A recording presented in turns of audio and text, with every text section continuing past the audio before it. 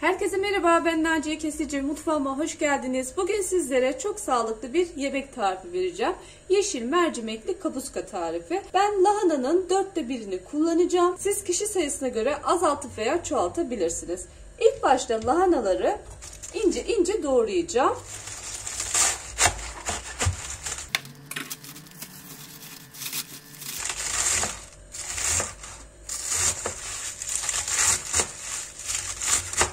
Lahanaları doğradım. İyice yıkayıp bir kenarda bekletiyorum. Tencerede kaynayan suya bir çay bardağı yeşil mercimeği ekliyorum. Yaklaşık 10-15 dakika kadar haşlıyorum. Çok yumuşatmadan yeşil mercimekleri süzüp bir kenarda bekletiyoruz. Tencereye şöyle biraz yaklaşık 3-4 yemek kaşığı kadar ayçiçek yağı ilave ediyorum. İsterseniz zeytinyağıyla, isterseniz tereyağıyla da yapabilirsiniz. Yağ şimdi kızsın. Ayçiçek yağı ısındı. İçerisine 2 diş sarımsak ve 1 adet soğan ilave ediyorum.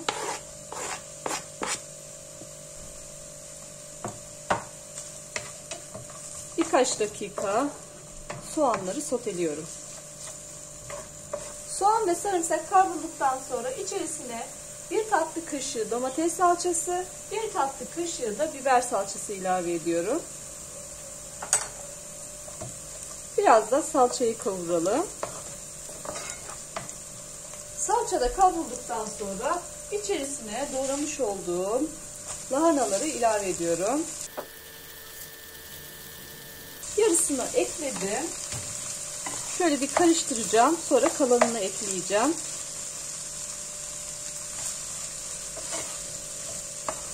Şimdi diğer kalan lahanaları ekliyorum. 2 yemek kaşığı yıkanmış bulguru da ekliyorum. Ve yavaşça tekrar karıştırıyorum.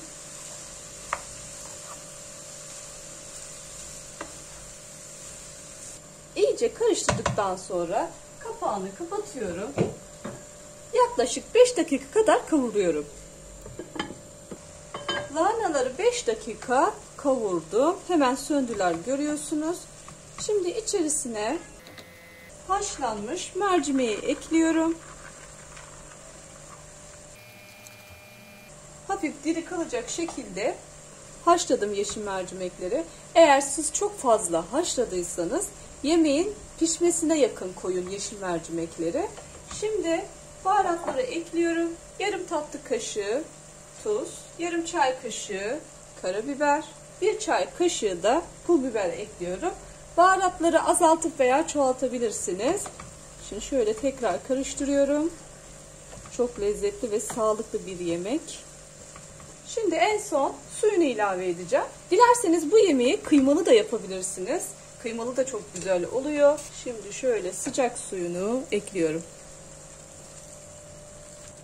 Yaklaşık 4-4,5 su bardağı kadar sıcak su ilave ettim. Şu an suyu gayet iyi gözüküyor. Eğer çekerse suyunu biraz daha sıcak su ilavesi yapabilirsiniz. Şimdi şöyle bir toparlıyorum her tarafını.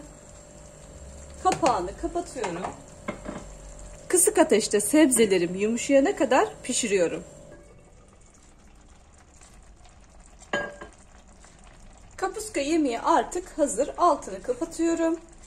Ben yemeğim pişerken bir su bardağı daha sıcak su ilave ettim. Kıvamı bu şekilde. Siz isterseniz daha sulu veya daha katı da yapabilirsiniz suyunu az ekleyerek. Şimdi yemeğimi servise hazırlıyorum.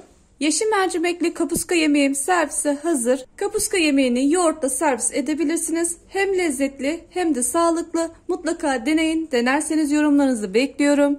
Yeni ve farklı tariflerle görüşmek üzere. Hoşçakalın.